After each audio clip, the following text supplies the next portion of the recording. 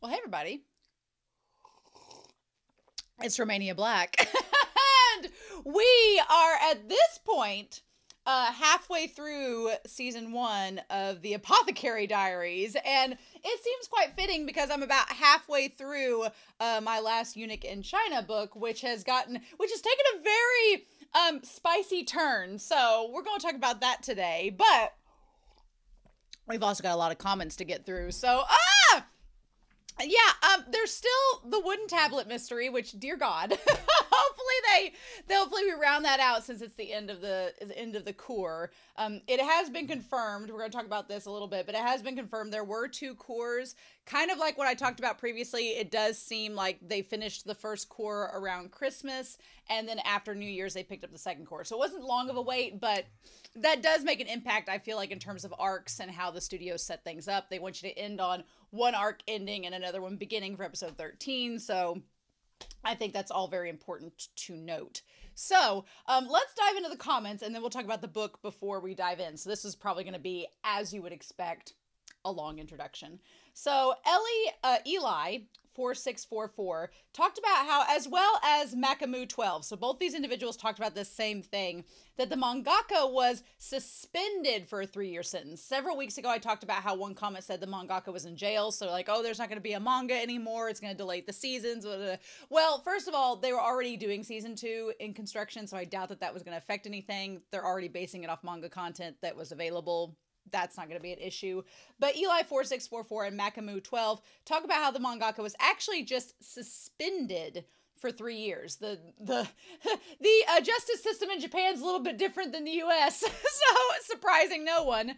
Um, but they're not in jail. They can still work on the manga as long as they don't commit any further crimes within that three year suspension. So basically, they're on lockdown for three years with the government being like, don't commit fraud, don't do tax evasion anymore, if that was the case. You know, I'm not saying it was, but um, I don't exactly remember the news story, but it was something along those lines. Basically, the thing is, they've told the mangaka for three years, you got to not do that. And then if you cannot do that, you won't go to jail. So they could still work on the manga. So I don't feel like it's going to suspend or delay anything with this series, which is good. Obviously, do your taxes. But at the same time, I do think that it's important to note that. So if people are like, oh, there's not going to be this, there will be. It's just, it's a different circumstance. Sarah points out that hairpins not only have the the hitting meaning, which is the dates, as we've come to learn, uh, come to know, but also they can be used to recruit talented workers. So Li Hua giving Mao Mao her hairpin basically marks her as special and valuable, which I think is important to note because I think Mao Mao Mao Mao believed early on in the series that her standing out would make her a target and a bad thing. And I could totally understand where she's coming from with that. But I think that as the series has gone on now, and we've seen how the others kind of act around Mao Mao and they do recognize her as someone of value that's really, really good at her job, I think that her standing out is going to be a benefit more than a bane. But we'll see where the show decides to go with that. But I appreciated that. Um, H Banana 7 points out that Mao Mao doesn't only look at the science, like with the fingerprints on the cup, but also thinks about the logic of why the prints are in a certain location. And I kind of love that about this show because it is taking place during a period in history where we don't have like the modern CSI forensic investigation science. That's not around. So the technology is not there. So instead, you have to rely upon okay, well, why are the fingerprints at the top of the cup? What would be the purpose of it? We don't know where those fingerprints go to, but why are they there? What could that tie to? And I think that that's maybe the author commenting kind of on how you know in modern i'm not saying it's a direct link but in modern society a lot of times we just say oh we'll let the technology do it. We don't question the process or the methods behind it. We just think oh the technology is going to point out who did it and we're done. And it's very convenient but in efficiency isn't always the best.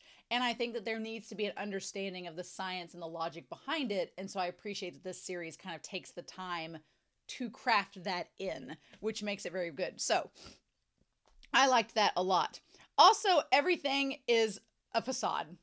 The the pleasure district, the whole Imperial Palace setup, everything in this series, even when it comes down to Mao Mao and Jinshi and how they present themselves, there's so many personas and walls.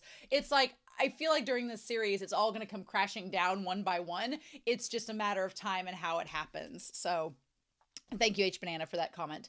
And then Anime Annie talks about how Mao Mao feels more trusting in people in similar positions to deal with her as to deal with herself. Like Gaoshun and Gyokyo, she trusts in them a lot. And I like that Anime Annie points this out because yeah, Gaoshun is a eunuch that's serving Jinshi. He's very kind and considerate, and she feels like a trust between them. He's also very genuine, so she kind of feels like she can trust him. Gyokyo, she's a concubine, and Mao Mao kind of sympathizes with her situation. That even though she does have some power and relegation, she's stuck in a relationship she doesn't want necessarily. So I feel like Mao Mao feels like she can trust them. But when it comes to Jinshi, he's in a position where he deals out punishment. So he's in a position of authority. And Mao Mao seems to kind of naturally withdraw from authority because she knows how dangerous it is to be associated with them. So I feel I feel bad for Jinshi because he loves her and he wants to develop a relationship with her and she's like she's keeping him at arm's length and it's like, "Oh, no. Damn it. No, girl, you don't realize." So, I thought that was interesting to note. So, I really like those comments, but I want to talk to you all about this book. about this book because there's a lot of things I I've gotten to the halfway point. There's a lot of things in these passages I want to talk with you about um, as we go.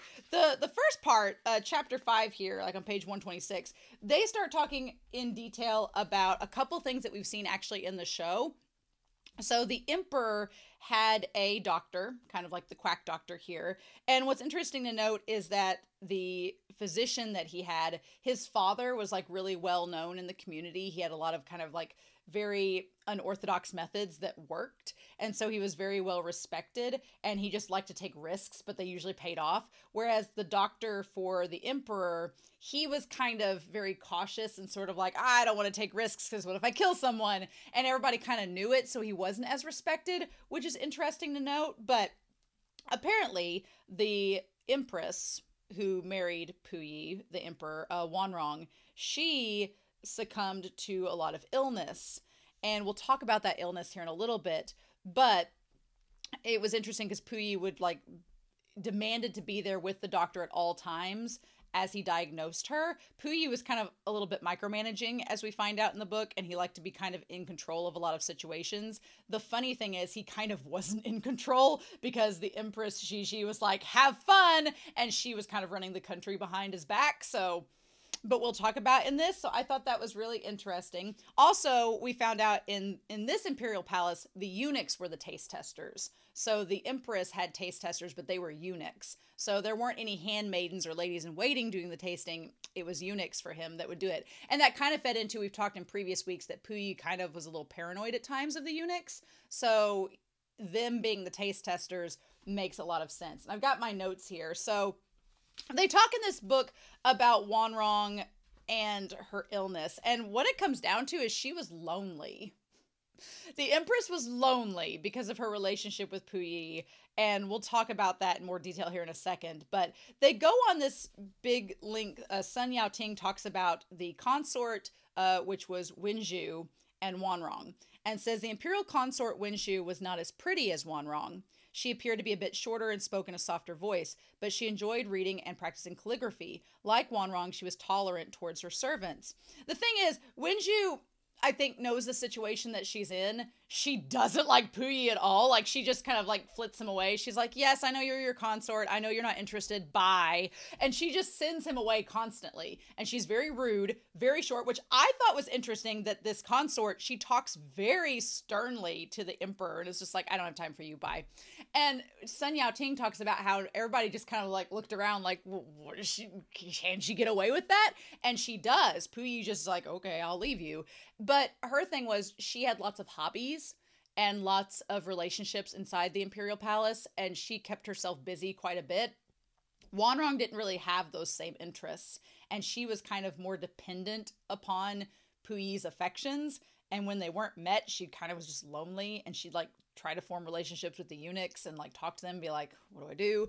And I felt bad for her because she just seemed like she was just stir crazy in this giant palace with no one to be with and wanting a relationship that wasn't working. And so I felt kind of bad for her throughout all of this. But they're set up as rival candidates. And at least the emperor in this book seems to be treating Wenju well. He like you know, gives her like an attendant in waiting. He checks up on her and she just doesn't have anything to do with him. So I thought that part was interesting. But then there is um the opening of this part here on page 130 where Sun Yao Ting, our precious innocent bean, who is who does not know anything about sexual, you know, he's been a eunuch since he was age six. So he's just grown up in the palace system. He's heard of things from other eunuchs. He knows a lot of eunuchs are like obsessed with sex because they can't, you know, interact and engage with it in the same manner as other people. So he kind of has a very naive understanding of sexual activity. But this part here, I'm going to read this verbatim to you all because I was just sitting there like, oh! So it starts as saying a telephone line between the Mind Nurture Palace and Wanrong's bedchamber was installed after Puyi's wedding. Occasionally, he made a phone call to tell her he was coming or just to say hello. And Sun Yao Ting was her attendant. So, shortly after he came to the Palace of Gathering Elegance, Sun Yao Ting sensed that something was wrong between the imperial couple, even though he could not put his finger on it. One day, Puyi suddenly emerged, going straight into Wanrong's bedchamber. Without bothering about formalities, he threw himself on the bed. Come over, he said to Wanrong. After a short moment, he called out, Somebody, come here! Sun Yao Ting, who'd been waiting outside, hurriedly entered the room, only to find the imperial couple lying in bed together. Puyi had Wanrong in his arms and seemed to be feeling her up. Sun Yao Ting stepped back hastily, but Puyi threw him a glance and ordered, Come in.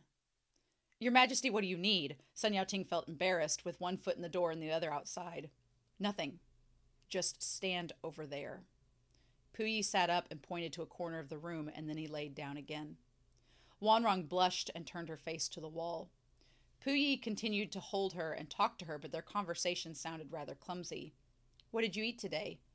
Nothing special, just the same old dishes. If there's anything you want to eat, tell them to buy it for you. I can't think of anything special, really. Wanrong had apparently lost interest in the subject. Sun Yao Ting stood in the corner, feeling very awkward, with Puyi fondling his empress without passion and striking up a conversation and trying to strike up a conversation. He feigned a fit of severe cough and slipped out of the room. And a moment later, Puyi left. So in that moment, it's like, well, I mean, and, the thing about it is, Sun Yao Ting at the time doesn't realize he's like, why do I have to stand here in the corner while the emperor is apparently trying to have a moment with the empress?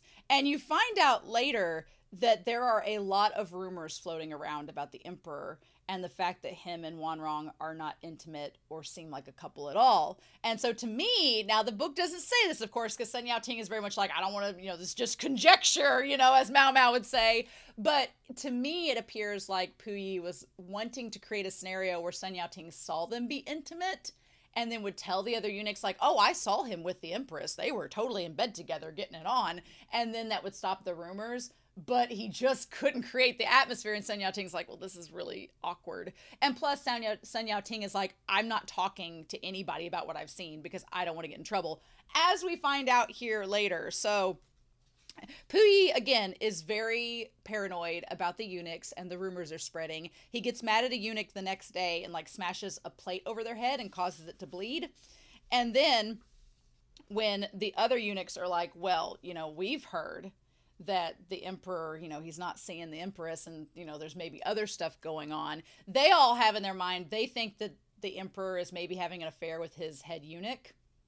And maybe that's what's going on. And but there but Sun Yao Ting's like, well, I don't want to get involved. He's like, I just know all Sun Yao Ting says, he enter he gets involved in the gossip a little bit, and all he says is, Well, I I know the Empress tells him to leave as soon as he gets there. And the Emperor hears that.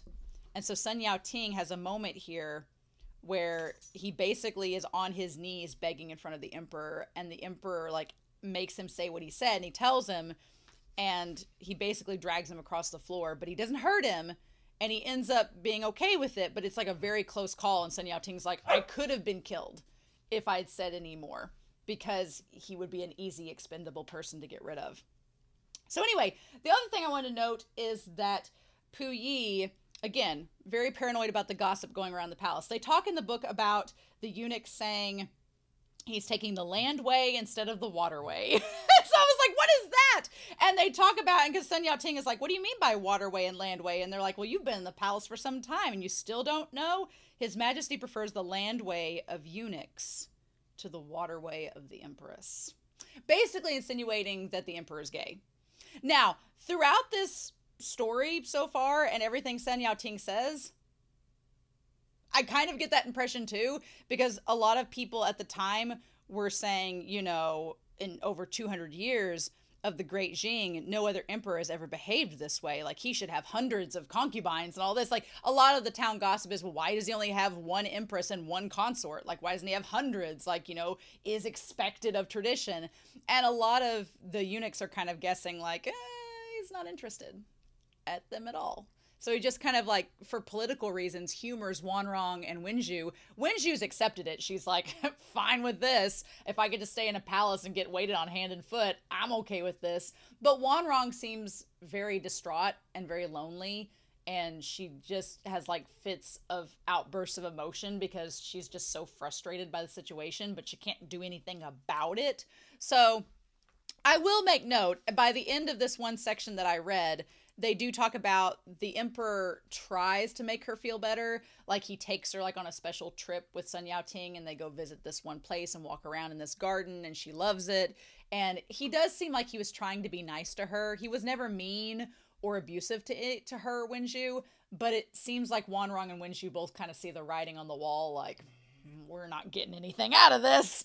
And so it just I kind of feel a little bit bad for Puyi because if you think historically, he's the emperor and he can't really do what he wants to do so he's just trying to like put up a front and be like yeah i'm the emperor and we're i felt kind of bad for him because i was like damn the way that sun yao ting describes all the situations he's in he seems like he's just forced trying to be straight and he's not and these two women are just like we'll have to deal with it and that's where we're at so it's it was fascinating, but the idea that poor our poor eunuch had to stand in the corner while he was awkwardly trying to do something sexual with her is I was like the scandal. so that that's very interesting so far. So that that's where I'm at. I'm halfway through. My goal is that by the time we finish the series, I'll have finished the book. So it's like the slowest reading I've ever done on a book, but I've also got a lot of stuff going on the channel, so what can we do? But anyway, so I'm super excited uh, to start this episode and to be at the halfway point. I hope you all are as well. But I've talked for 17 minutes. We're not going to waste any more time. We're going to dive right into the Apothecary Diaries, episode 12. And we're going to do that here in three, two, one. And let's uh, go.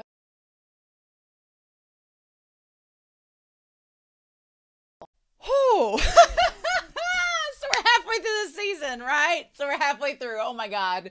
I oh, this episode was great. I was really worried for a second about this episode because I was like, "No! They were starting to give us angst." And I was like, "Oh, no, don't do this. Stop it." Which I I'm sure that this series is going to give us angst. I'm sure it is because what romance doesn't have angst in it? And there was a, a meme shared on the Discord where Jinshi's like, "This is a romance story," and Mao Mao's like, "This is a detective story." and I was like, "Yes."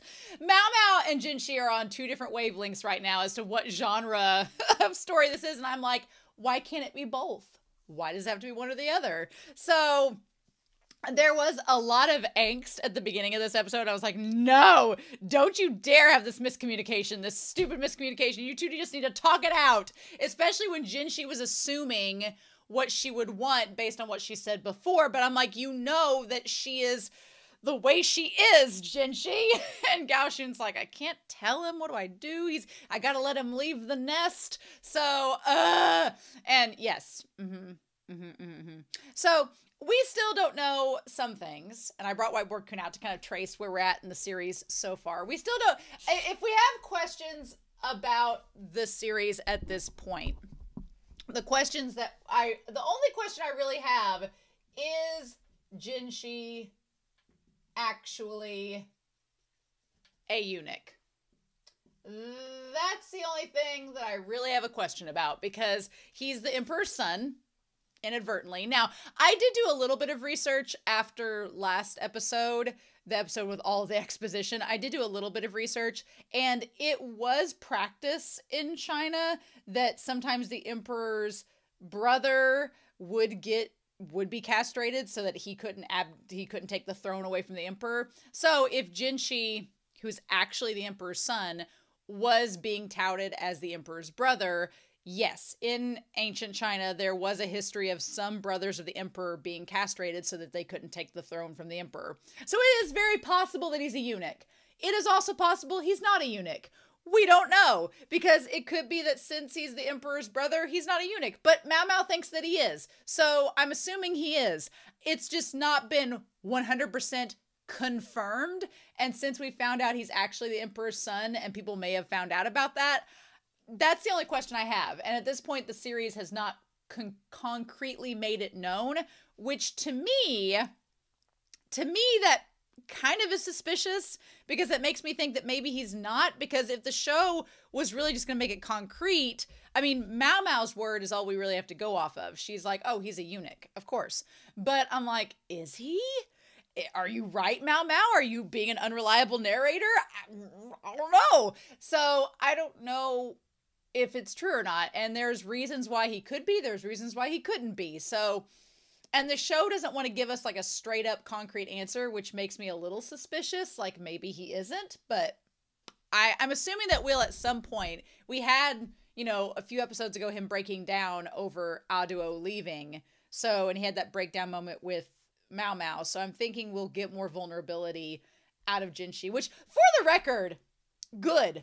I it's so refreshing to see the female protagonist being the one that's like hyper realistic, hyper sarcastic, hyper like dry and just like n- an aromantic, not knowing like like the advances of the other party, and for the male character to be the one that's like head over heels in love with her because in real life, it's the same thing. Uh, what's funny is my coworker reminds me a lot of Mao Mao. She is very like dry, very no nonsense, very business. She's really funny. But then her fiance, he like sends her flowers every week and he's like, I just want you to feel great and have a great day. He's like a, a damn Labrador. He's like the best. And I'm like, girl. And she's like, I know. I got a good one. And I was like, dang it. And he's like this gamer that sends her flowers. And he all he's like an IT guy. He works for an IT company, but he likes playing video games and he like sends her flowers and he's super nice. And I'm like, damn girl, you lucked out. And she's like, I did. And I was like, Ugh.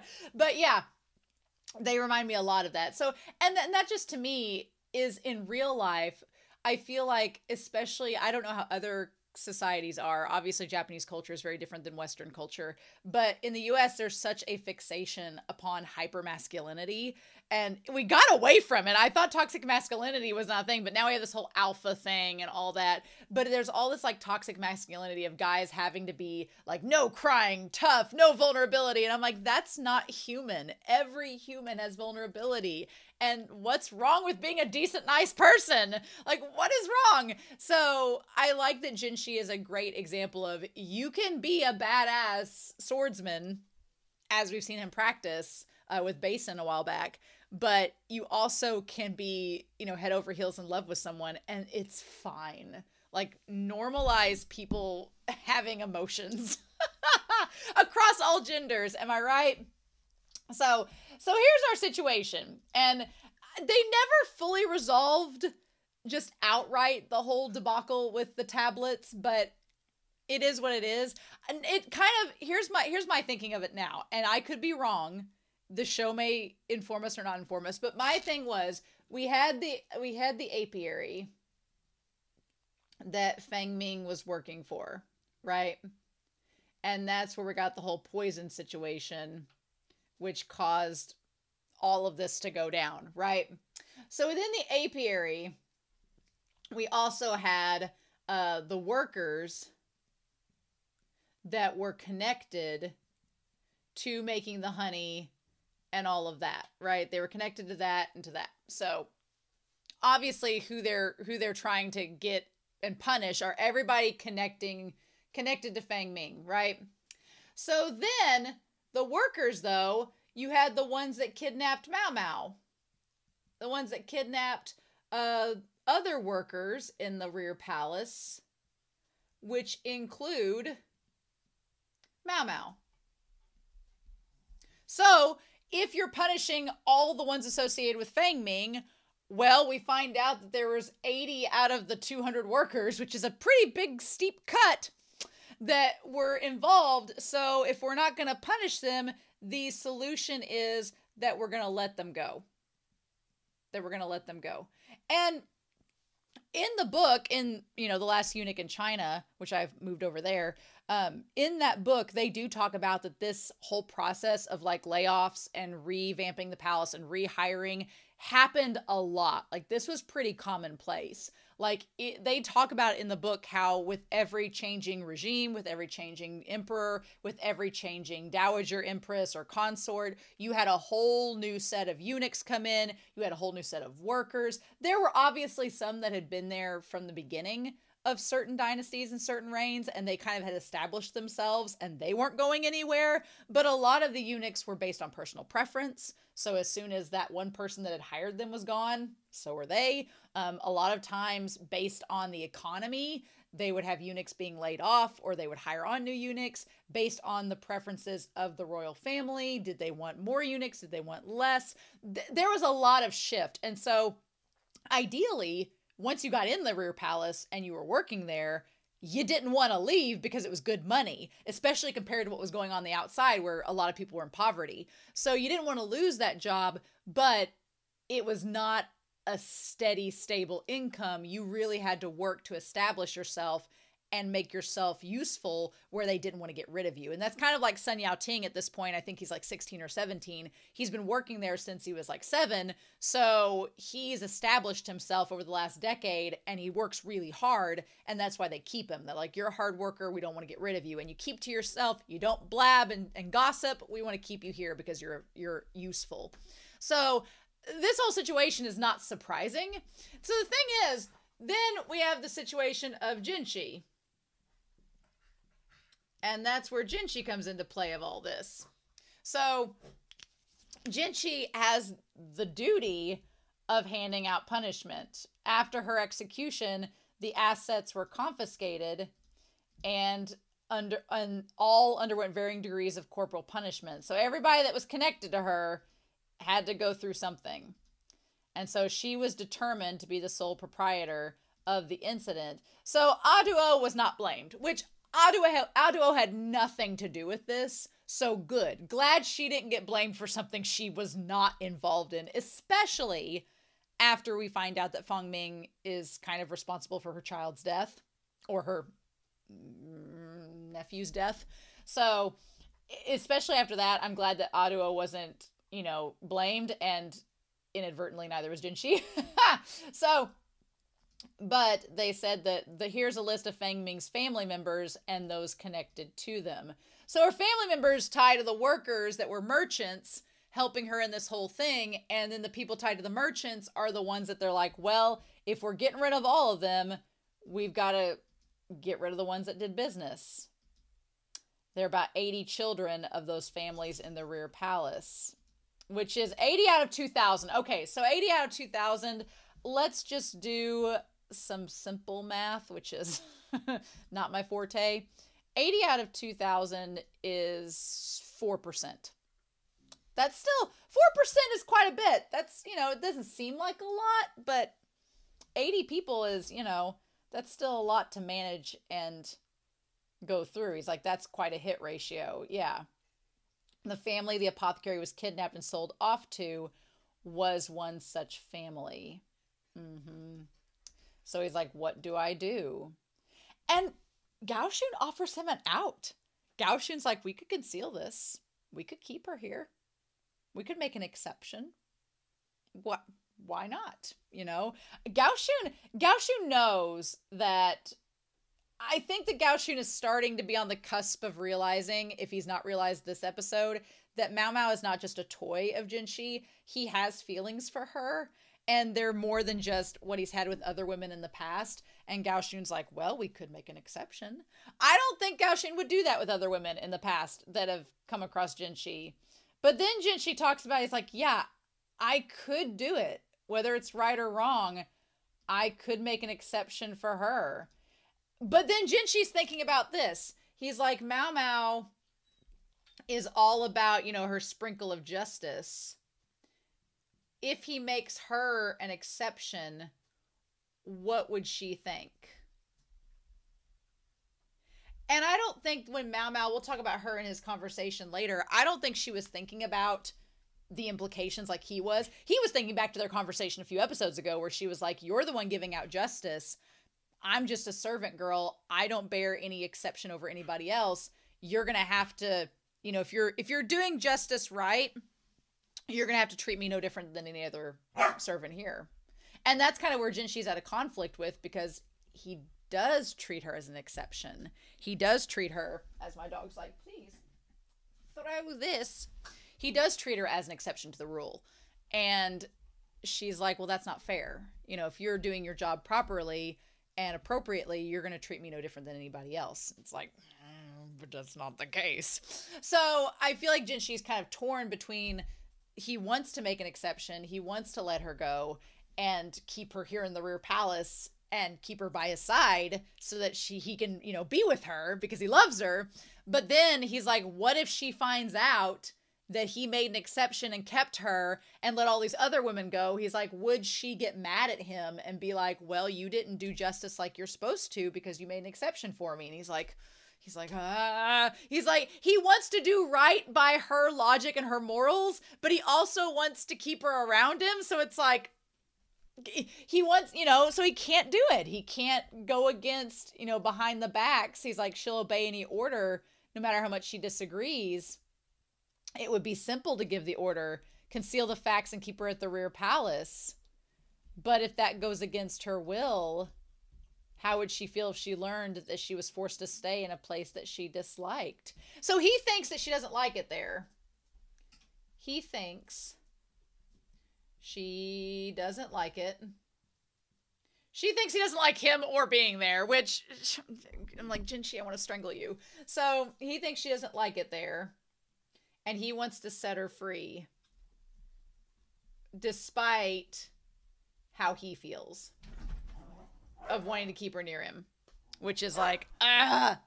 So, and to me, that just tells me I'm glad they address it in this episode where the two of them talk at the brothel.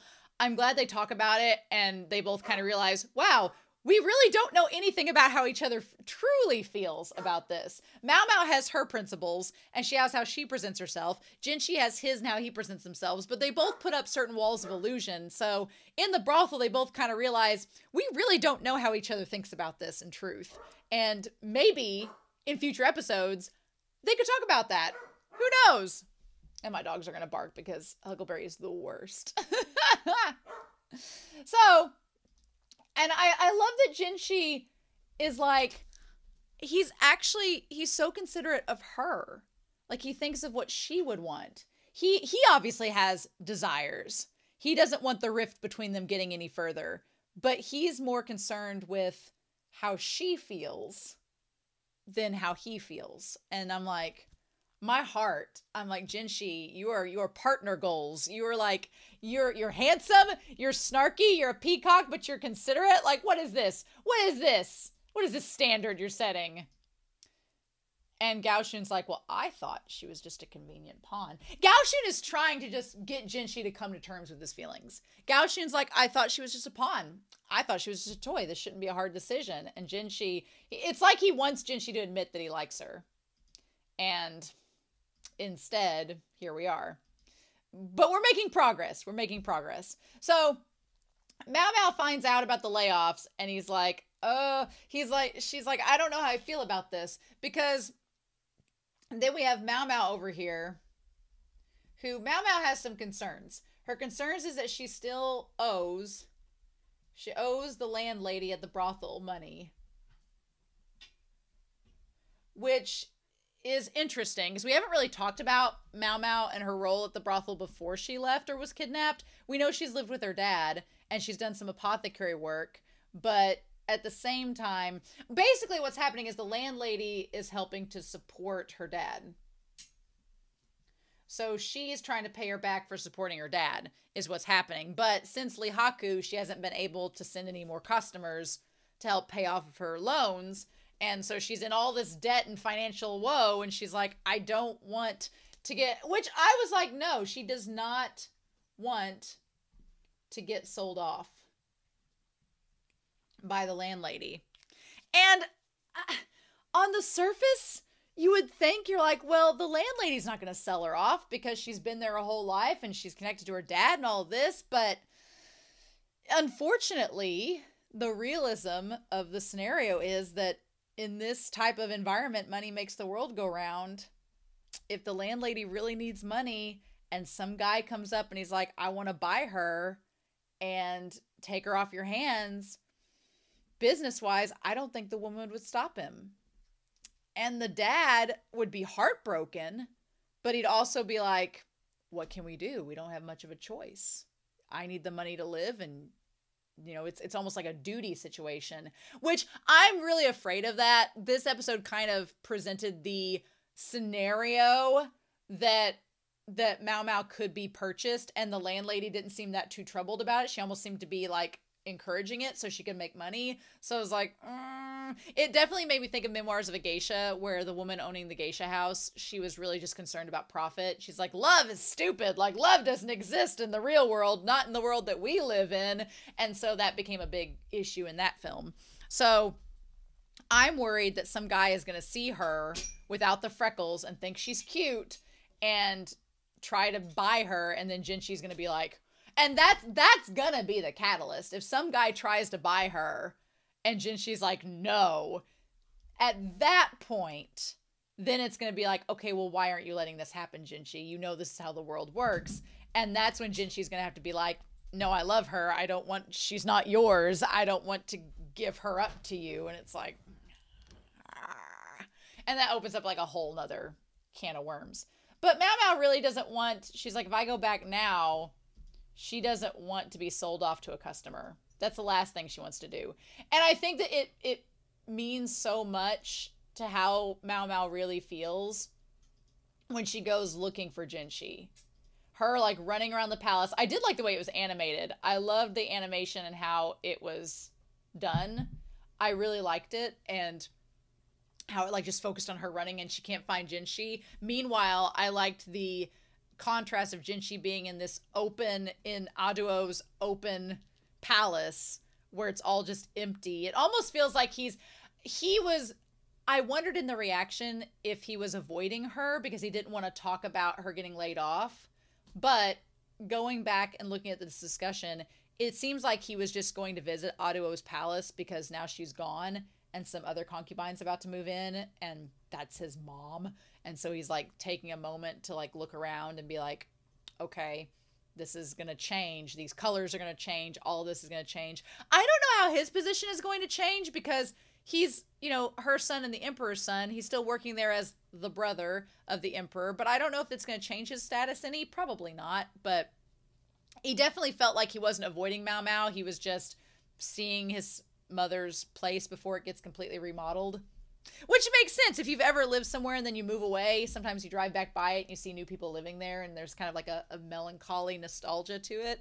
So that's kind of how it read to me. But by the time she finds him, then he's like, oh, yeah, we have to have this conversation. And it, to me, it just speaks volumes that Mao Mao was looking for him out of breath, trying to convince him to let her stay. Not because she likes him necessarily. She's not at that point yet, but because she doesn't want she she's gotten comfortable with this existence. She likes the people that are there. She likes the job that she's doing. She doesn't want to go back into this unknown that might lead to a negative situation. And I think it's so interesting because she didn't want to go to the rear palace in the first place. But now she she has a usefulness and she is kind of spoiled in the sense that she does have a little bit more freedom than she expected, namely because of Jinshi and Gyokuyou. But she also enjoys who she's around.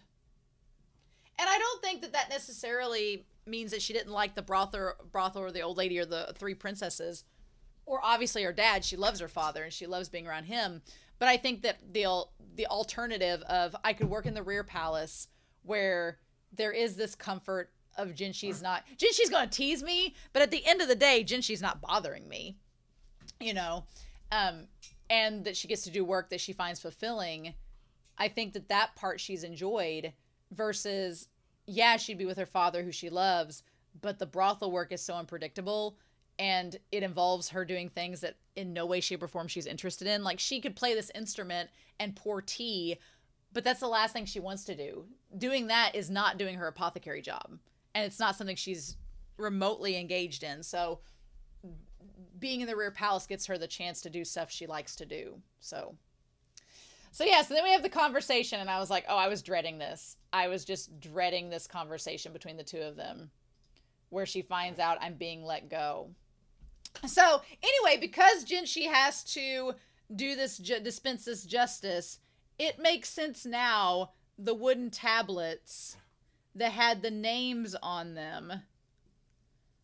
I wonder if she was throwing them in the fire and disposing of them. So if all of this got exposed, she could find a way, you know, out of the situation. And my dog's trying to get me to play with a toy, but he's not bringing it to me. So no.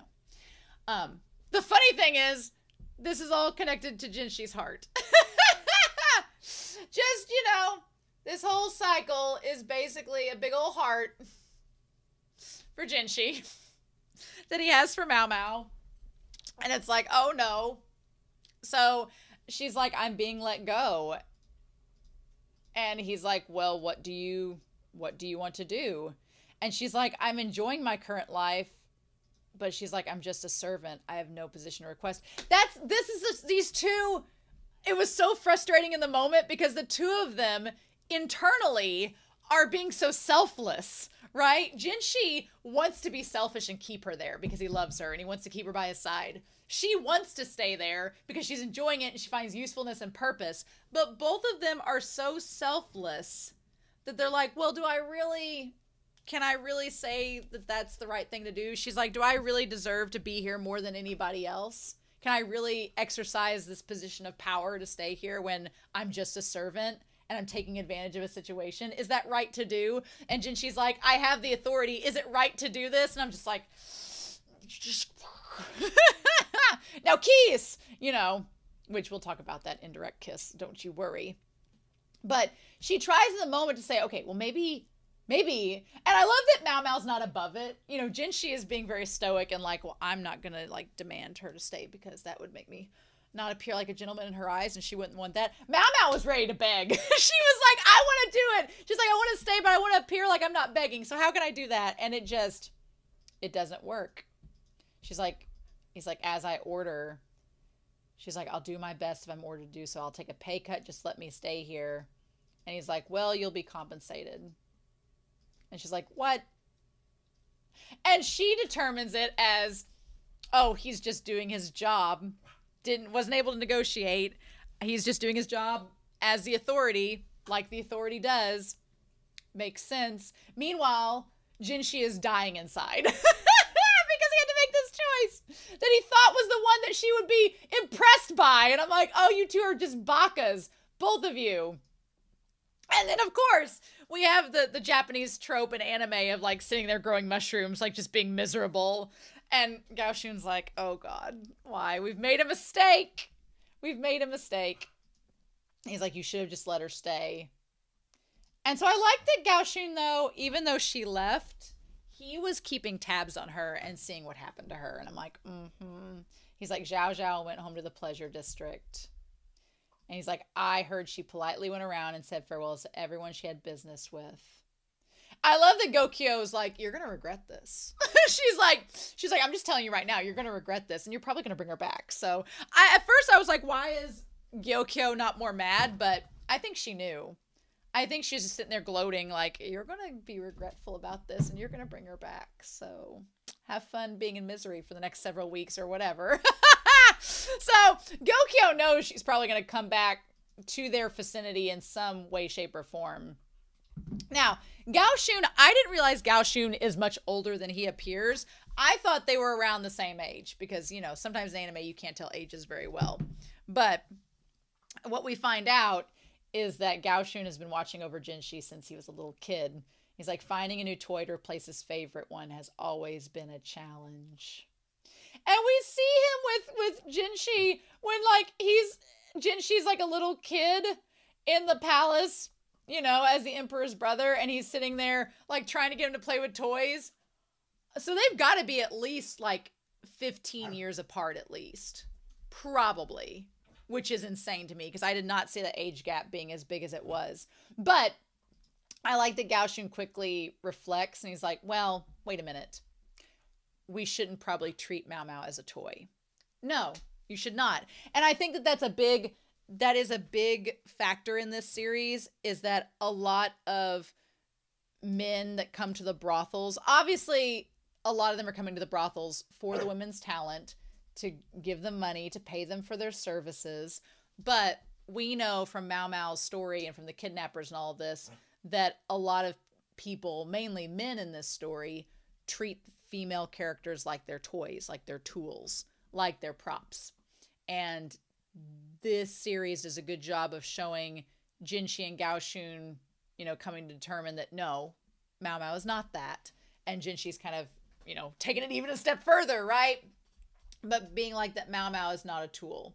And that's part of his reasoning too. He's like, I didn't want to treat you like a tool that I was just keeping around to use. But he can't come out and say that he loves her because she clearly isn't on the same wavelength yet. And I'm like,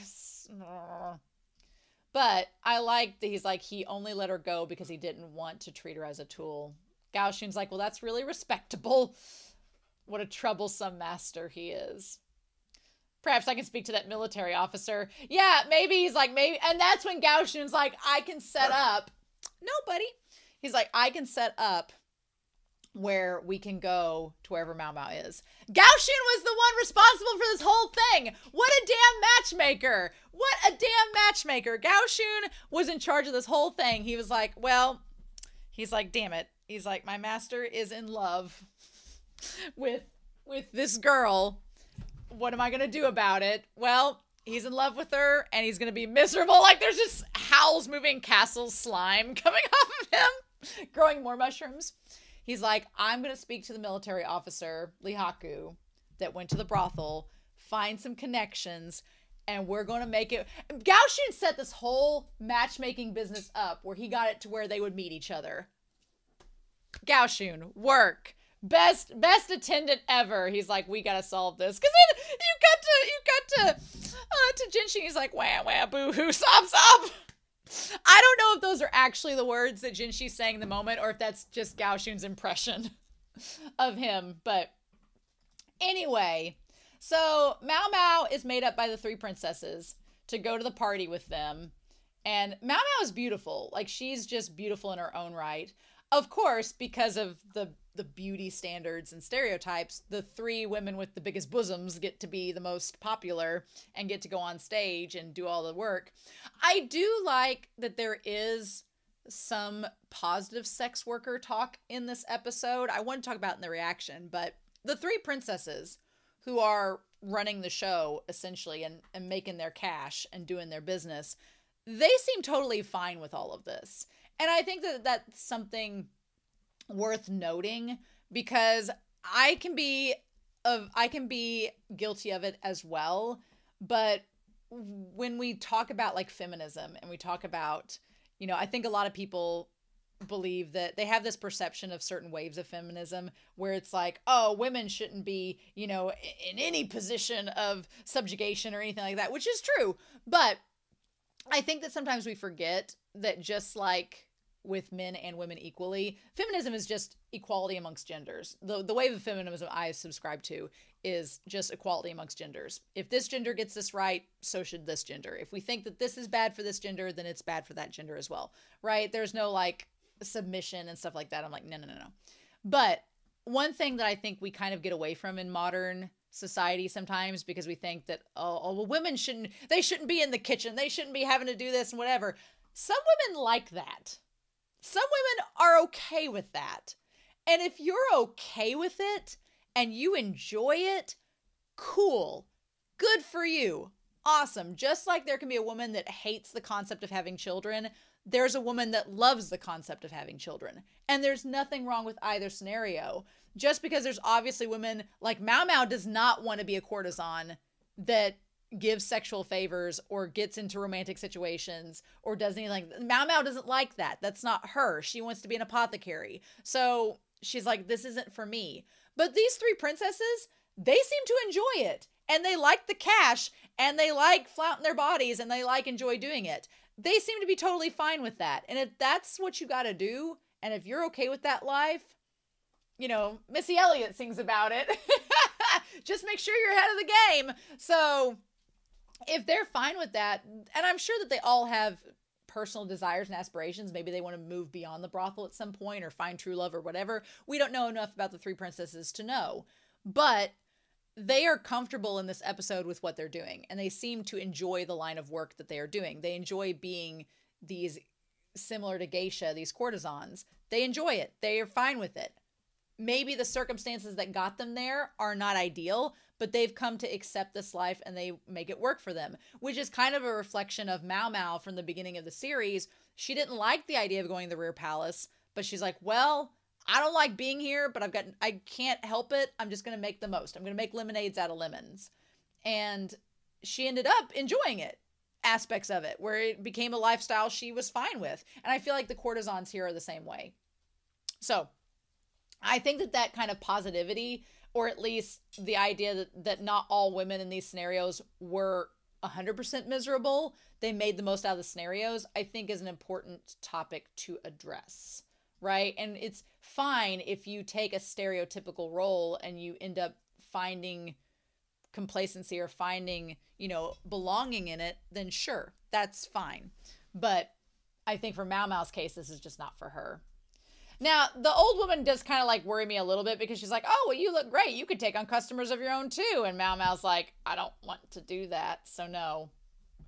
But she's like, the old lady really wants me to become a courtesan because she wants money, right? And she's like, I can't recite poetry. Oh, she says, I can't recite poetry or play the erhu.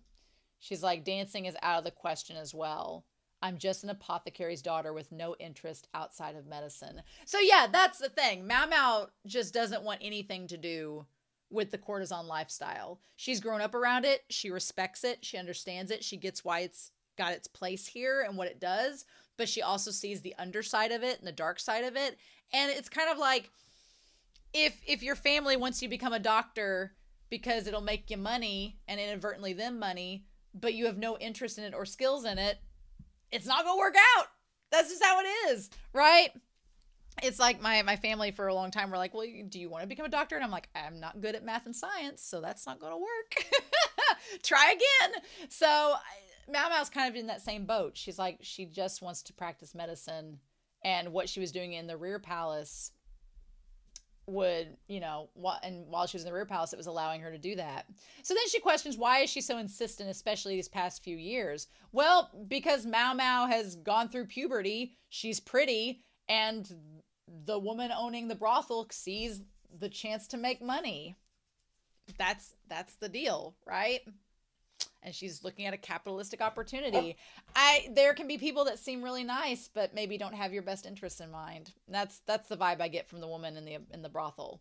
It was cute when she was a kid, but now that she's old enough and has, is pretty and can make her some money, it's maybe a different story. So they go to this bougie military man's house, very bougie, like all the lanterns, the koi ponds. I think it's interesting to see a wealthy establishment outside of the palace like, because when we think of, you know, the Imperial Palace, we think that that's like the hub of all the money and trade and everything. But this episode kind of reminds us that no, there are people outside of the Imperial Palace and outside of the royal family that have money and have influence, which I think is going to, again, be a thing. I'm fully expecting one of these wealthy military men who have made their money and settled down to see Mao Mao and be like, oh, I want her. And then Jinshi's gonna have to be like, because mm, the Emperor doesn't have any attachment to her at all. It's just Jinshi. So it's like, Jinshi, you to flex your authority or what we to do? So I'm fully anticipating that happen. We'll just have to see if it goes through or not. I also like that Mao Mao resists the urge to steal something from the mansion because it's like she could probably get away with it at the Imperial Palace because of Jinshi. Jinshi spoiled her in a sense. But here she's like, oh yeah, no, I can't get rid of that. I can't get away with that. So they go in where these military. Oh, you can see Jinshi. Oh my God, you can see him. I missed him the first time around because he's by the curtains, looking miserable. Oh my God. So essentially, Gao Shun probably made Jinshi go to this meeting, knowing Mao Mao was going to be there. He made Jinshi go and was like, just go and have a good time. And she's like, I'm not to have a good time because I'm, I'm sad. And so he was just sitting there wallowing in pity and despair and wasn't looking on stage to see who was working there. Gao Shun, you genius. I didn't even notice him there at first. So yeah, we see all these military men that are dressed kind of like Gao Shun and then all the women come in to do their dance. She's like, he knows a lot of rich people. He should have introduced me to them sooner. She's like, I could have lessened my loan amount. And she's like, I could have got more money. Anyway, off to work. I do love that we see the three princesses doing their gifts. We have the one that can play the instrument, the one that can dance, the one that can sing. They all have these very traditional talents. They do look beautiful on the stage, and I love how everything sparkles around them.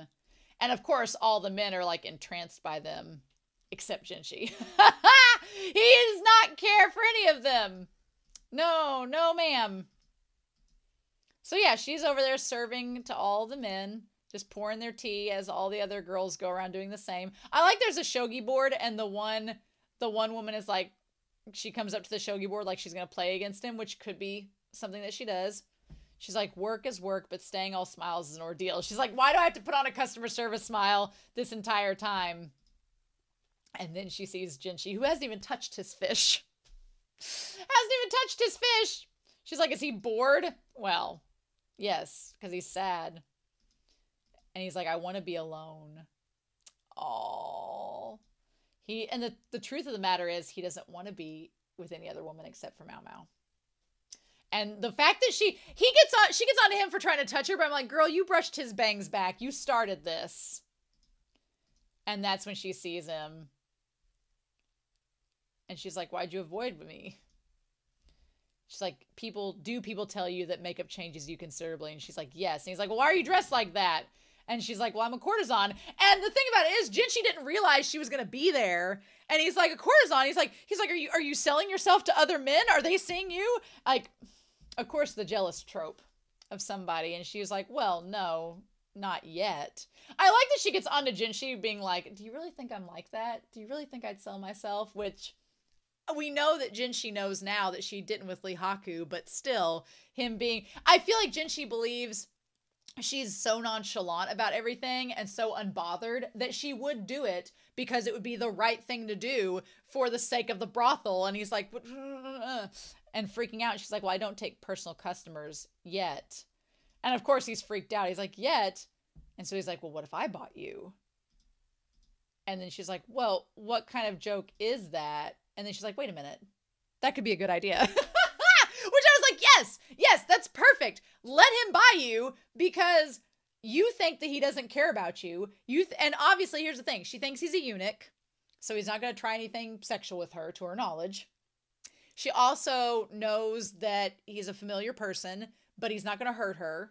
So she's like, yes, perfect. And she's like, and if you buy me, I don't have to be here doing this other stuff. She's like, I don't have to put on the customer service smile and pour tea all day because we know each other. I don't have to do that with you. And if he takes her back to the rear palace, she doesn't have to stay in the brothel. So, mm-hmm. she's like, you know, working in the rear palace again wouldn't be too bad. And I like Jen. She's like, what? He's just like, well, I thought you quit because you hated it there. And she's like, when did I ever say that? I'm so glad they talked about it in this episode because I was like, I, one thing I hate is when there's miscommunication and there's obviously a channel and a place to solve it and they just don't do it because they're stubborn or stupid. And I know that people will be like, well, it's realistic. And I'm like, I don't care. This is a fantasy story. I'm, I'm watching this for escapism, damn it, not for realism. I'll go be in the real world if I want that. So I was really afraid that there was going to be this miscommunication that was going to last for like episodes. No, we clear this shit up right here, right now. as we should. And she's like, Well, when did I say I wanted to quit? And Jen, she's like, she's like, I tried convincing you to let me stay and you fired me anyway. Which to be fair, she didn't do a very good job of convincing. She did the bare minimum. So I can understand why he didn't realize that. She's like, Yeah, there was a lot of trouble. But where else would I be able to perform as a taster?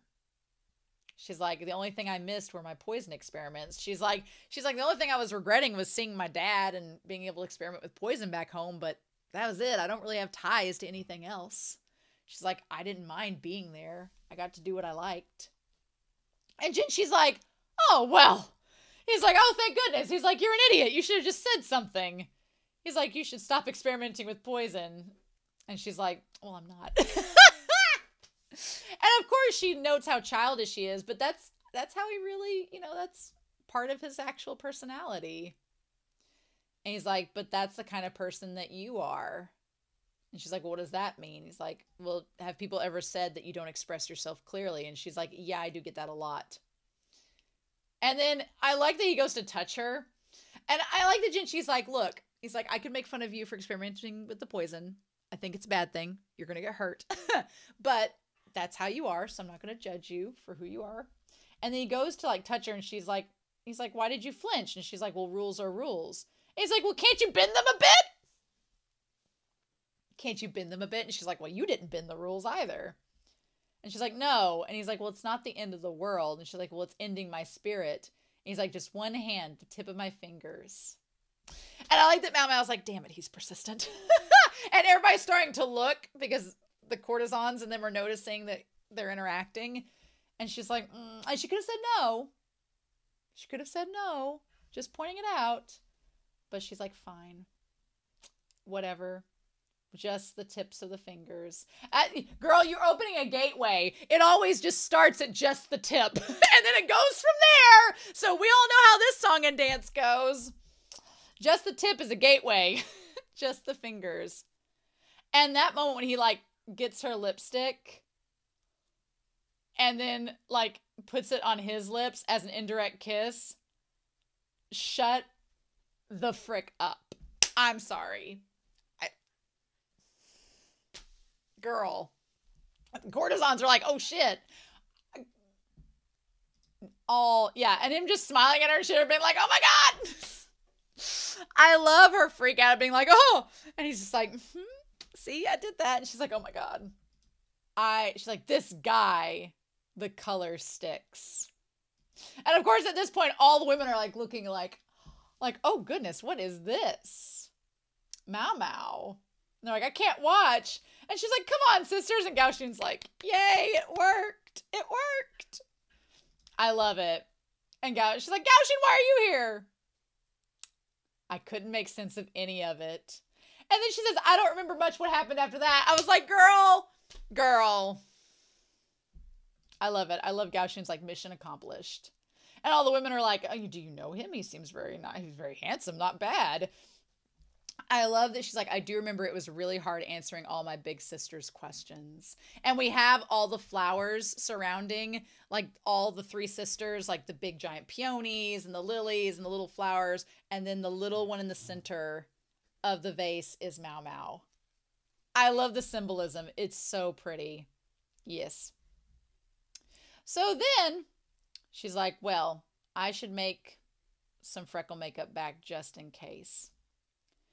Now, the old woman has her come and look at someone, but I feel like it's the woman that we've seen before. And I was like, Is it her mom? Is it like, who is it? And she says, No, the situation hasn't changed. And she's like, Okay. And then she looks at her hair and stuff like she realizes she needs to take a bath. I wonder, I thought for a while that the woman that seems to be in a coma was maybe Mao Mao's mom, which could be the case. And I'm not ruling that out. I would also add the theory that maybe the woman is either related to the old woman that runs the brothel or is her daughter or is like her best concubine or whatever and she's been in this coma or she's been sick and maybe the old woman in the brothel has been keeping Mao Mao around as like an apothecary like her dad just because it's convenient to try to see if they can figure out a way to cure her But as it's becoming more apparent that there's not a cure, maybe the brothel woman's being like, well, she's not going to get better. So I'm thinking maybe it's time to sell you off since you're not going to be of use to me anymore. I don't know. I want to give the old woman the benefit of the doubt, but she's throwing vibes like she really would not be opposed to selling Mao Mao off. Because she gets in the bath with her, right? And she's like, the rear palace and the brothels are pretty similar. But it's it's one thing though. They are similar. They are cages, but it's like if you have there are differences though too. Whereas Mao Mao kind of knows one, she knows what to expect in terms of what her job is. She's a taster and she works for Gyokuyou. She knows how that goes. So there is some kind of safety or security there. She knows what's going on. She knows Jinshi, so she's got it in with the law, you know? And she also has networks of support there that I don't think are necessarily at home. She has her dad, obviously, but he's an old eunuch that she's supporting. The women, the woman running the brothel, I don't trust her fully. I think she would sell Mao Mao off. The princesses, they all have their own problems to worry about. So while there is a safety net there, I think that Mao Mao has kind of found her place in the rear palace that she feels like she could be of help and of use that is different from where she's at now. I think the only thing really tying her back home is her dad and the fact that she owes the woman at the brothel. So I don't know. I love that she goes outside with the liquor and just sits there thinking about what she's going to do. She's like, there are no different. But all of those scenarios she feels closer connected to. And we do the little recap of everything that's happened over the course of this season. And then she's like, well, what do I do? I like it. I it's mainly like where do you want to make lemonade? You've got lemons in all the scenarios. Where's the best place to make lemonade at? So then a few days later, a beautiful noble came to the pleasure district in a carriage that's Ah-Duo's colors, you know, like you do. And he basically bought her. He basically paid the old woman all the money to get Mao Mao. He brought enough cash to make the old lady's eyes glisten, and for some reason, a strange herb growing from an insect. I love that Jinshi was like, I'm gonna buy, I'm gonna give the old woman money so she's happy. We got that. You know. I also they say a noble. I'm like, he's the emperor's brother. Is that not a big deal? Is that not a big deal? And then the insect, the herb growing from the insect, it's like Mao Mao, of course, is like, oh my god, you got me a little bug. How cute. Jinshi's like, this wasn't hard. I like that she both danced around it. Like both of them are dancing for the things that they got, and Jinshi's like, really? In exchange, he asked for a certain girl. He's like, I gave you the bug, now let's go. Gave you the herb from the bug, let's go. Mm-hmm. So good. So maybe, I mean, here's the thing. We don't know exactly what he's going to have Mao Mao do because he technically laid her off so I don't know if she can exactly go right back into the rear palace. I don't know if she can exactly go right back in because maybe it's going to be harder than it seems to just jump right back into the ship. I don't know if the Emperor would immediately take on for Gyokuyou and approve her getting a new lady in waiting that had been someone laid off. It's not impossible. I'm not saying it can't be done. I just I feel like he'd be like, but why? And Jin she'd have to be like, it's not that I love her or anything. It's just you know, she's a apothecary. She's really talented. Use that. So maybe she'll go back and be like the doctor's apprentice. Maybe maybe work for him. Maybe maybe work for another lady in waiting. It would be kind of cool if she worked for Lihua for a while and just like got back in that way. I don't know. Or maybe she'll get in with the new concubine and work for her. I don't know. I'm really curious about that. But the title of this episode was called The Eunuch and the Courtesan. And all I could think of to tie back to our question of if Jinshi is a eunuch or not is the eunuch and the courtesan is referring in multiple ways. It's one, in a sense, referring to the roles that those people play. So both the eunuch and the courtesan are bound in a system that is like a cage but the question is, what are you going to do while you're in the cage? Are you going to sit there and suffer? Are you going to make lemonade out of lemons? Are you going to work your way up the ladder? What are you going to do? So the title is referring to not only the roles that people play, it's also referring to Mao Mao and Jinshi because Mao Mao's the courtesan in this episode, Jinshi's the eunuch. But what's interesting is they are not that. Mao Mao is not wanting to be nor really a good courtesan. She's like, no, I'm not really a courtesan. I, they want to try to sell me off as one, but that's not what I am. I'm an apothecary. And so then the question is, is Jinshi a eunuch? Or is he just pretending to be for the sake of duty or whatever? I don't know. So it's just what do we do with that? So I I really enjoyed this episode a lot. I'm glad that we cleared up that miscommunication between the two of them. It was so romantic. I'm I'm rooting for them so much, but you know this show is not going to make it easy for us. So now we just got to see what's going to happen. He's paid off the old landlady for now. So we'll see if that's enough to pay her off for good or what we're going to do. But he literally came to her with like I, instead of a proposal of a ring, it's an it's an herb from an insect. She'd be happier with the herb from an insect than the ring. Which is so funny because again, I talked to you about my coworker that's a lot like Mao Mao. Her and her fiance just got engaged like a month ago, and she she doesn't like wedding rings. She doesn't like jewelry. She doesn't like wedding rings. She, again, she's very much like Mao Mao, but she likes like she likes rocks and archaeology. So literally, he got her a, a pebble, a stone, like an actual rock is what she wanted, and that's what he got her. And I'm like, y'all are so Mao Mao and Jinshi coded. Cannot even. But anyway, I hope you all have a wonderful week.